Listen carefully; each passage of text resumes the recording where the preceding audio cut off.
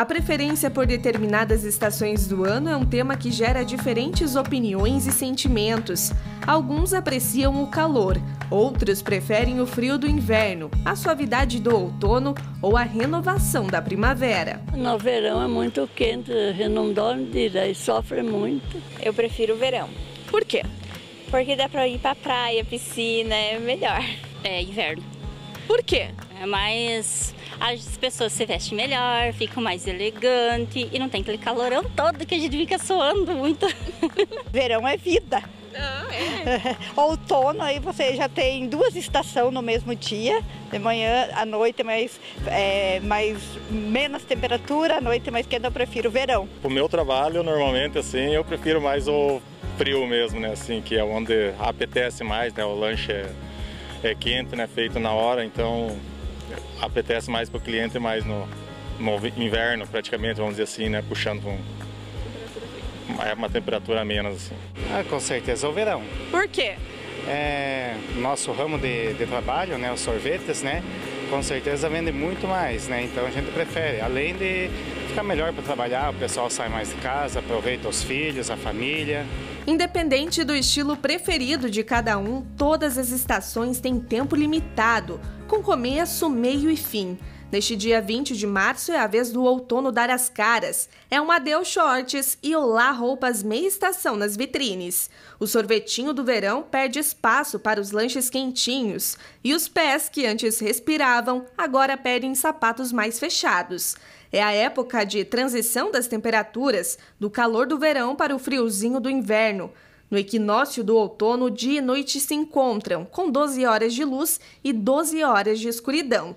Em 2024, o outono vai até o dia 21 de junho no hemisfério sul. É o momento de se preparar para as massas de ar frio chegando ao sul e sudeste do Brasil, junto com os nevoeiros e geadas típicos da época. Sul, né, então, que está localizado no estado do Paraná, nós vamos ter então o início do, da estação do outono.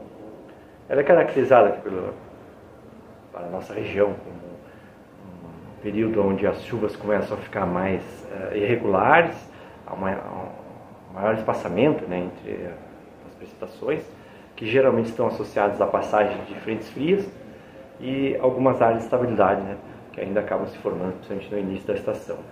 A, ao longo da estação também começa a ficar mais frequente né, a, a entrada, né, a atuação de massas de ar frio e seco, que levam à ocorrência de tempo, tempo estável, né, por, por vários dias consecutivos. Uh, durante as noites e manhãs também a formação de, de, de nevoeiros e dependendo da intensidade da, da massa de ar, né, quanto mais uh, o ar for mais frio, maior a probabilidade de ocorrência de geada.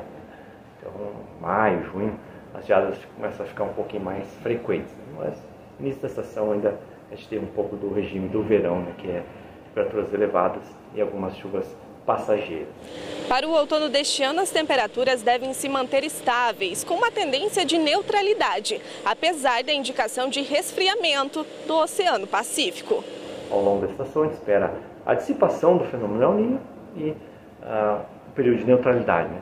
Com isso, a, a previsão para os próximos três meses, né, uh, em termos do volume de chuva, uh, no interior do estado, as faixas norte, oeste, centro, Campos Gerais, deve registrar chuvas dentro abaixo da média histórica para essa época do ano, enquanto que a região metropolitana e o principalmente o litoral devem acompanhar a média climatológica, então ser um período mais normal em relação ao volume de chuva previsto.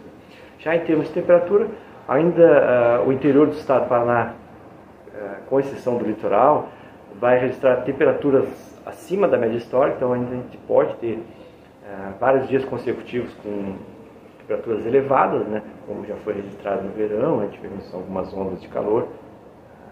E a tendência então é, é essa, né, que o, a, o, outono, ainda principalmente neste início da, da estação, seja mais quente que o comportamento normal.